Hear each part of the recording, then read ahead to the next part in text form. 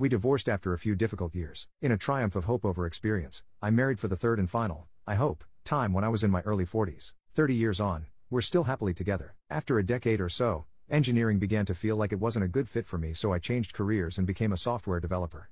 I programmed computers for nearly 40 years. I retired last October, at 71 years of age. I must have learned a thing or two in all that time, but I'm damned if I can tell you what. All in all, it's been a better life than I could have imagined for myself when I was in high school.